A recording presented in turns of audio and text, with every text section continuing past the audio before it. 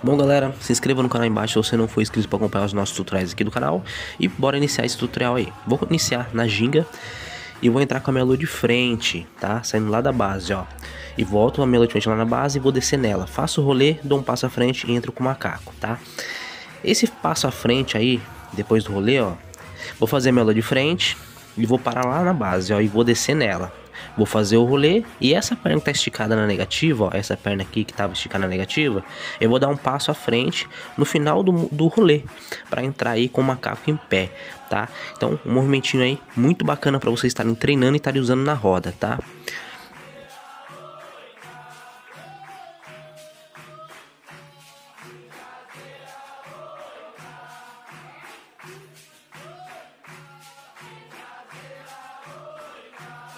Então galera, se você gostou, deixa o like aí no vídeo, se inscreve no canal embaixo se você não for inscrito para acompanhar os nossos tutoriais aqui do canal, compartilhe o vídeo, deixe seu comentário o que você achou desse movimento, valeu e até a próxima.